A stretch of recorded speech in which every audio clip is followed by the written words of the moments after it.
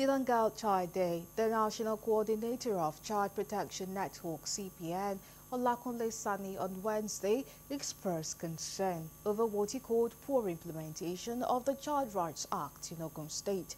Sani spoke with newsmen in Abeokuta at a session with decoders and students organized by the CPN in commemoration of 2023 Girl Child Day.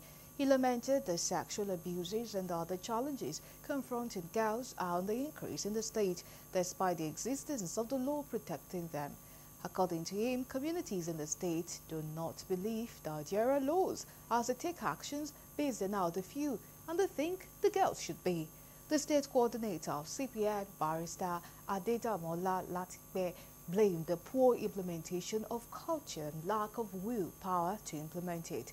Also, the state chairman of the Nigerian Medical Association, Dr. Kunle Ashimi, submitted that the poor implementation of Child Rights Act is not limited to Ogun State.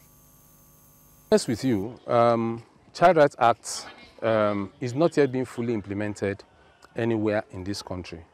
Otherwise, we will still have a lot of things that you know should not be happening now with children.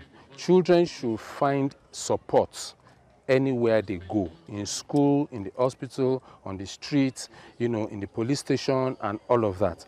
The key reason why it's been a challenge, there are two reasons basically. Culture. The culture that makes us believe that children do not have rights, that their rights are subsumed under the parents is a key problem. You have I, I, was discussing with someone once and said that um, do we know that children have rights to leisure? And the parent was like, what do you mean by a child has rights to play and all that? The level of implementation for the child rights law in Ogun State is very, very low at this time.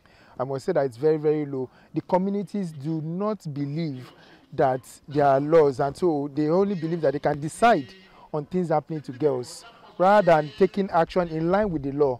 They only take action in line with the way they feel, in line with what they think that um, the girls should be, that the girls should be subjected to whatever they decide on.